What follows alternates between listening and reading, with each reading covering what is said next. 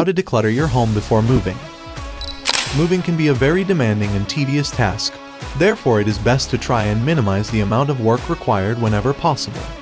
One of the biggest ways that you can make your moving experience a lot simpler and more efficient is by decluttering your home before you begin to pack everything into containers.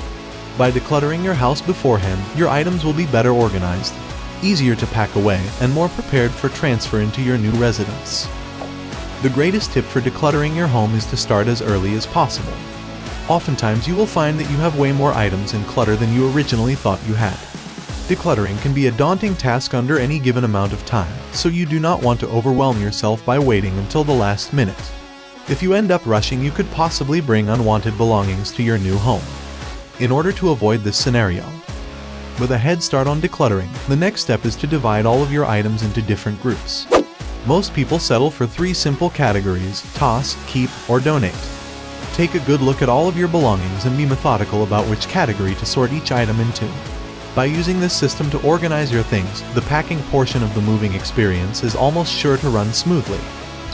Never be afraid to get some assistance if needed. Finding other people to help you declutter your home can really ensure that the process moves along quickly. Assemble your group of helpers and assign specific tasks to each member. This will keep everyone focused on whatever job they have been given and will make sure that everything stays organized.